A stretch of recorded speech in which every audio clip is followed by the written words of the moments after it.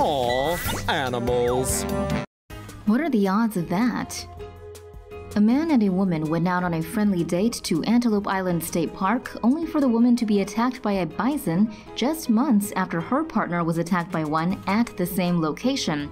Kaylee Davis was walking on a trail in the park with her date, Kyler Bourgeau, when Kaylee decided to run ahead. It was then that she spotted the bison.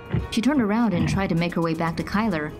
Kaylee told the BBC that the bison then started charging toward her and lifted her roughly 15 feet into the sky. She then landed on her back and stayed still as the bison sniffed her.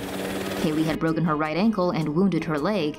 Eventually, the bison wandered away and she was airlifted to a hospital in Utah after receiving help from people passing by. At the hospital, the 22 year old had learned that the bison's horn had actually pierced through her ankle. That probably hurt really bad. Her partner, Kyler, went through a similar ordeal in June. Kyler told the BBC that the bison had ended up goring his hip and armpit before stomping and kicking his head. Well, those two probably won't be making their way to state parks or national parks anytime soon.